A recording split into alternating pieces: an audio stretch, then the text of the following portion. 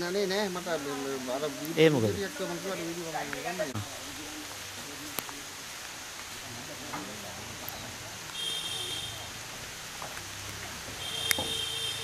එනේ හැටි කාගන්න තේරුණා. යස්ස ඉවරනකොටම වහලේ වැහුවා.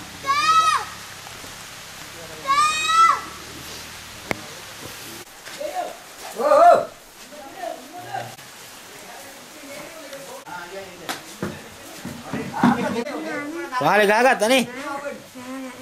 ඒක ගේන්න ඕන. ගෙනල්ලා ඉස්කෝලේ යන වැඩේ කරන්න ඕන.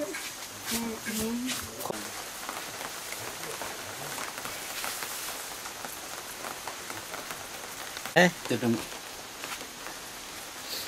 හිතුවේ නෑ මෙහෙම වෙයි කියලා නේ. ඇත්තටම හිණයක් සර් මේගොල්ලෝ ටික අහන්නකෝ මේ.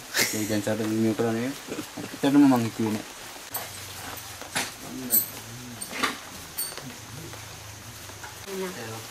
ආ ලයි ඒ ලයිට් බිල ගෙවන්න බැංකුවේ සල්ලි ඇවිල්ලා තියෙනවා. අපි අ, ඔබට සඳහන් කළා මැල්සිරිපුර ප්‍රදේශයේ මේ ඉන්න අසරණ දරු පවුල පිළිබඳව. වැස්සට තෙමෙන අවුවට වේලෙන බොහෝ කරදර රැසක් අත්විඳිමින් බොහොම අමාරුවෙන් ජීවත් වෙනවා.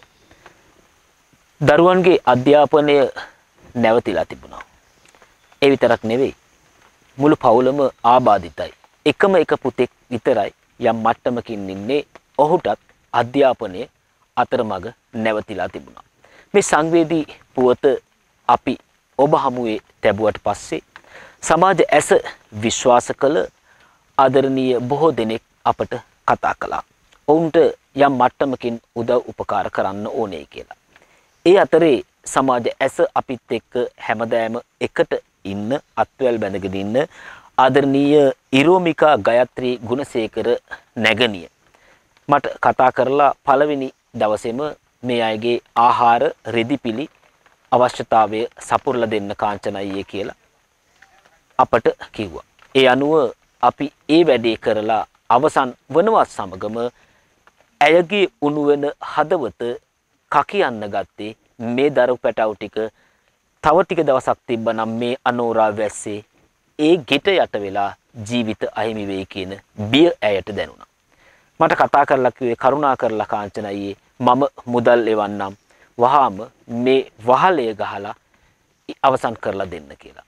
ඒ අනුව එදාම අපි බසුන්නෑ කෙනෙක් කතා කරගෙන මේ විදිහට බඩු ටික ගෙනල්ලා දින කිහිපයක් යනකොට අපට හැකියාව ලැබුණා ඉරෝමිකා ගයත්‍රී ගුණසේකර නංගීගේ දෙමව්පියන්ට පින් සිද්ධ වෙන්න ගුරුවරුන්ට පින් සිද්ධ වෙන්න ඇයට පින් සිද්ධ වෙන්න ඇය හැදූ වැඩූ දෙමව්පිය සියලු දෙනාටම පින් සිද්ධ වෙන්න ඇය ගොඩාක් මහන්සි වෙලා දුක් මහන්සි වෙලා උපයා ගන්න මුදලින් අද ඔවුන්ට නිවන හම්බුණා ඒ අනුව අද දවසේ වැඩ කටයුතු වහලේ ගහලා අවසන් වුණා. හරියටම වර්ෂාවත් මේ වෙන විටත් පතිත වෙමින් පවතිනවා. ඒ නිසා අද ඉඳලා ඔවුන්ට නොතෙමී ඉන්න හැකියාව ලැබුණා. අපි ස්තුතිවන්ත වෙනවා ඉරෝමිකා නංගිට. ඒත් එක්කම මට කතා කළා අපේ ආදරණීය සුජාතා හත්තොටුව මහත්මිය. කතා කරලා කිව්වේ මේ ගෙදරට යම් කිසි උදව්වක් උපකාරයක් කරන්න ඕන කාංචන කියලා. ඒ අනුව අපි ඇයට කිව්වා වහලේ ගැහුවට ප්‍රමාණවත් නැහැ. මේකේ බිම සිමිති ටික දාන්න ඕන. කොන්ක්‍රීට් එක දාන්න ඕන. නැත්තම් මේක නිදා ගන්න සහ ගෙට ගෙවිදීමේ හැකියාවක් නැහැ. ඒ අනුව ඇයගේ සහයෝගයෙන් රුපියල් 30000ක මුදලක් අපට ලබා දුන්නා මේ මේ සඳහා. ඒ වගේම තමයි අපේ ආදරණීය රජින්ද්‍රා මහත්මිය ගලේවල ප්‍රදේශයේ වෙනත් ස්ථානයකට රුපියල් ලක්ෂයක මුදලක් සමාජ ඇස අපට ලබා දීලා තිබුණා. ඒ නිවසකට උදව් පුළුවන්. ඒ නිවැසියන්ගේ අවාසනාව වෙන්න ඇති. මාස ගණනාවක් ඒ රුපියල් ලක්ෂය අපි සතුව තිබුණා. මම කතා කරා රජින්ද්‍රා මහත්මියට මෙන්න මේ වගේ ප්‍රශ්නයක් තියෙනවා. අර ප්‍රශ්නේ ඒ අය විසඳ ගන්න තුරු? ඒ රුපියල් ලක්ෂය සමාජ ඇස හරහා අපට දෙන්න මේ නිවසේ දොරවල් ජනෙල් ටික සවි කරලා මේ අය කූඩු කරන්න ආරක්ෂිතව කියලා. කිසිම නිර්ලෝභීව ගිහිල්ලා බැංකුවට ගිහිල්ලා සල්ලි අරන් bill කිව්වේ ගෙවන්න. කාංචන මහත්තයා ගන්න අරගෙන ඒක හදන්න කියලා. අපිට බොහොම සතුටු වෙනවා. ඒ විතරක් නෙවෙයි. ඊයේ හවස මට කතා කරා අපේ සිරියාවතී මහත්මිය. ඇය මට කතා කරලා කිව්වේ ඇයගේ පොඩිමැණිකේ මහත්මිය සහෝදරිය මිය ගිහිල්ලා වසර 13ක් වෙනවා. ඒ වෙනුවෙන් පින්කමක් කරන්න මේ නිවසට යම් කිසි දෙයක් උදව්වක් උපකාරයක් කරන්න කියලා. ඒ අනුව අපට හැකියාව ලැබෙනවා තවත් කිසිදු මුදලකින් තොරව මේ තුන් දෙනා එකතු වුණා. වහලේ ගහලා අවසන් සිමෙන්ති ටික දාන්න. දැන් මේනකොටත් අපි සිමෙන්ති ටික ගෙනාවා.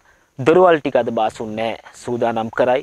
තව හෝරා කිහිපයක් යනකොට දවසක් දෙකක් යනකොට අපිට පුළුවන් මේ පවුල අර හිටපු පුංචි කටුමැටි වැටිලා කඩා වැටෙන්න ඔන්න මෙන්න තිබුණු ගේම් මේ අය කූඩු කරන්න. ඒ නිසා සමාජය ඇසත් එක්ක හැමදෑම එකතු වෙලා මේ විදිහට ඉන්න අපි අපිට පුළුවන් ආකාරයෙන් මේ අහිංසක මිනිස්සු වෙනුවෙන් උදව්වක් උපකාරයක් කරමු.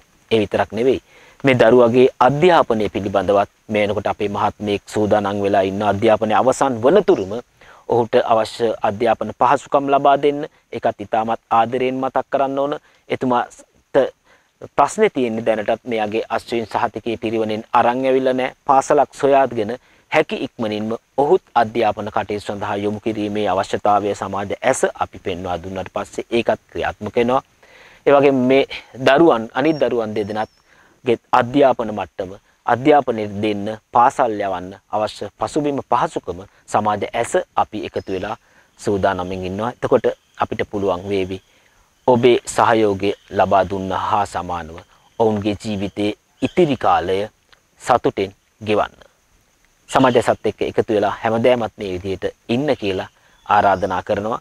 මේ කණ්ඩායම කූඩු කරන දවසට නැවතත් අපි එනවා ඔබව හමු වෙන්න ස්තුති කරන්න කීප දෙනෙක් ඉන්නවා. විශේෂයෙන්ම මේ වැඩ කටයුතු කරන්න උදව් උපකාර කළ අපට විශේෂයෙන්ම මැල්සිටිපුර පොලිසියේ ස්ථාන අධිපතිතුමා මේ ස්ථානයට පැමිණිලා පළවෙනි දවසේ අපට සහයෝගය ලබා දුන්න අවශ්‍ය ඕනෑම උදව්වක් කියන්න කියලා සඳහන් කළා. ප්‍රාදේශීය ලේකම් කාර්යාලයේ ප්‍රාදේශීය ලේකම්තුමියටත් ඔහු කතා කරලා මේ දරුවන්ට පාසලක් සොයා දීම සඳහා අවශ්‍ය පසුබිම සකසා දෙන්න උනන්දු වුණා. ඒ වගේම මේ වහලය ගහන්න උදව් කළ අපේ බාසුන් නැහැටත් අපි කිව්ව සැනින් ඇවිල්ලා මේ ඉතා අඩු මුදලක් ලබාගෙන රුපියල් 70000ක විත මුදලක් ගත්තේ සම්පූර්ණයෙන් වහලි ගහලා ඉවර කරන්න. ඒ සඳහා බාසුන් නැහැටත් වැඩ කරපු අයටත් අපි හදවතින්ම ස්තුතිවන්ත වෙනවා. සමාජ ඇස වෙනුවෙන් උදව් කළ උපකාර කළ සියලු දෙනාටම නැවත හමු වෙමු. පැටව් ටිකයි මේ පවුලයි කූඩු වෙන දවසට. ඇත්තටම තාත්තා කෙනෙක් වශයෙන් දරුවෝ තුන් දෙනෙක්ගේ පියෙක් වශයෙන් මට කරගන්න බැරුව මං අසුනින් සත්‍යෙන් වැටිලා මේ වගේ අන්තිම දුක තත්ත්වයටපත් වෙලා ඉද්දි මේ වගේ අවස්ථාවක් ලැබුණා කියන්නේ ඇත්තටම දකපු හැමෝටම දෙවියෝ ගෙදරට වැඩම කරලා මං හීනකින්වත් හිතපු නැති නොහිතපු ආකාරයකට මේ විදිහට මේ කටයුත්ත මට ලබා දුන්න එක ගැන මේ හැමෝටම මතු උපදින ආත්මයක් ගන්න මේ පින් ලැබෙන්න කියලා මම ප්‍රාර්ථනා කරනවා. තාත්තා කෙනෙක් වශයෙන් රටේ ඉඳන් උදව් කරපු සියලුම දෙනාට මතු ආත්මෙ මේ ආත්මේ බව ඉඳන් මතු ආත්මයක් ගන්න. පින් සිද්ධ වෙනවා කියලා මම කියනවා. මට හරි සන්තෝසයි මේ ඇත්තටම මට ඇන්නව නැන්නේ ඒ සතුට ගඳුල ඇත්තටම සර් ඇත්තටම සන්තෝසයි කියන්නේ මට කෙල නිම ගන්න බෑ මේ වචන. ඒතරම් මට සතුටක් තියෙන්නේ. මොකද තාත්තා කෙනෙක් වශයෙන් මෙයා මම වෙලා උනන්දු වෙලා කරන්න ඕනේ. ඒක මට කරගන්න බැරුව ගියා. මම වෙලා ඉදිරිපත් වෙලා මේ කරපු දේ අද මන් දේ මට ලොකු බලාපොරොත්තුක් ඉදිරියට තියෙනවා. දරුවට උගන්නගෙන ඒකට ඉදිරි කරගෙන ලස්සන යන්න ගමනක් මට මග පහදලා දුන්න. ඒ සියලුම දෙනාට සිය දහස් වාරයක් ඒගොල්ලන්ගේ දෙමෝපියන් හැමෝටම පින් සිද්ධ වේවා කියලා මම নমස්කාර කරනවා. හරි. එහෙනම් ගේ වැඩ ටික දැන් ඉවරයි. දැන් තියෙන්නේ සිමෙන්ති ටික දාගන්න අවශ්‍ය මේව ටික කරලා දුන්නාම අපි හොඳ නැකතක් බලලා ගෙට ගෙවිදීම සිද්ධ කරන්න. හරි. එහෙනම් හරි හරි හරි වදින්න ඕනේ හරි. හරි අනේ වදින්න එපා වදින්න එපා. පියා. උස්සරණයි.